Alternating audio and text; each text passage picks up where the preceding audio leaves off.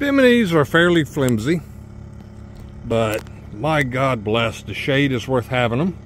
And as you can see, being we're cruising, we've mounted semi-flexible solar panels to the top of ours.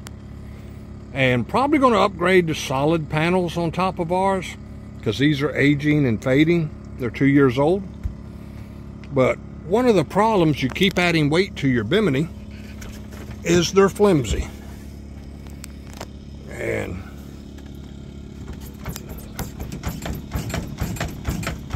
and adding weight to them doesn't make them any stronger.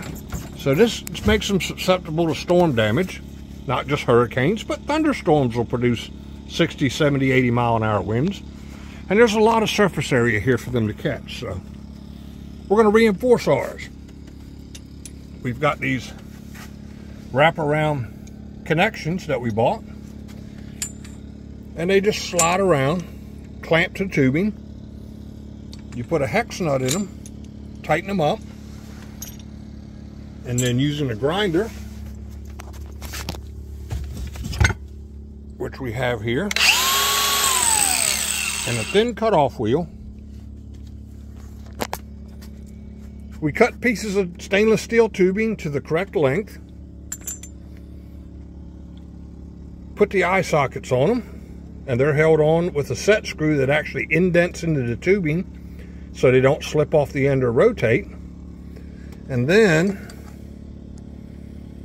we're going to beef this bimini attachment up because it's only attached at one point down here with a little brace in the back.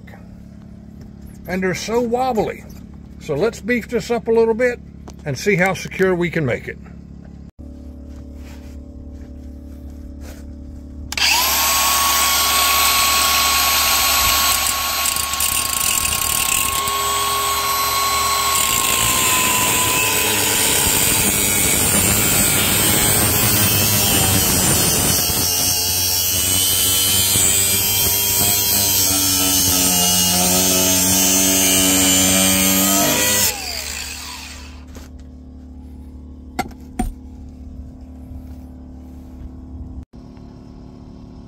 Now that we've added our braces, we still got a little movement.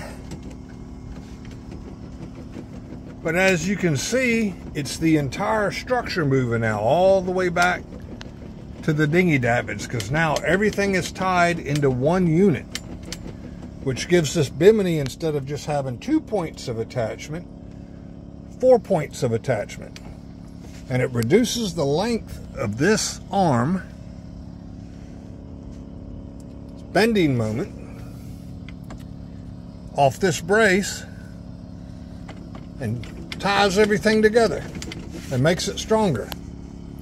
So we're looking forward to surviving many a storm.